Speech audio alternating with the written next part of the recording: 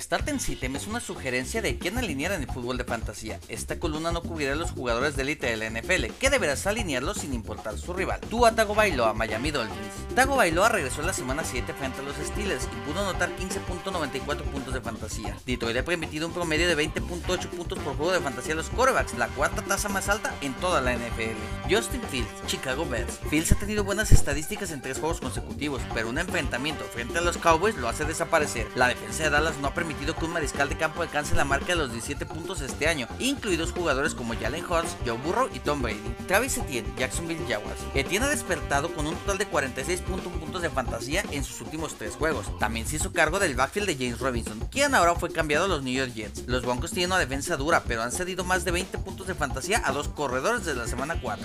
Darrell Henderson, Los Ángeles Rams. El valor de Henderson parece estar en aumento con Cam es fuera, pero será una apuesta esta semana en un duro enfrentamiento frente a los 49ers.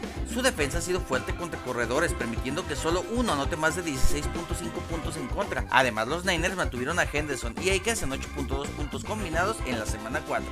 DJ Moore, Carolina Panthers. Esperemos que lo que hizo en la semana 7 frente a Tampa Bay no haya sido una casualidad. Moore tuvo 7 recepciones para 69 yardas y un touchdown en 10 objetivos. También es probable que los Falcons no tengan al esquinero AJ Terrell y a Casey Hayward, que está en la lista de lesionados.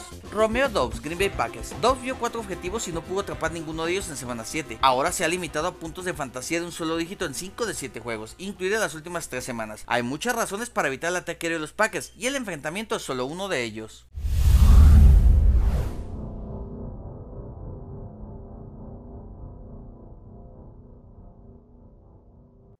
Ya que nos encontraste, no olvides que Telemundo y Peacock son la casa exclusiva en español de la Copa Mundial de la FIFA Qatar 2022. Del 20 de noviembre al 18 de diciembre, el Mundial lo es todo por Telemundo y Peacock.